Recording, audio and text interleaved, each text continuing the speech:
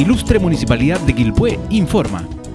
Con la sala repleta, la hilarante obra Jodida pero soy tu madre, protagonizada por Roberto Nicolini, se encargó de abrir paso al ciclo Quilpué es Teatro, impulsado por la Municipalidad de Quilpué y que todos los sábados a las 20 horas nos hará disfrutar de la cultura con entrada absolutamente liberada.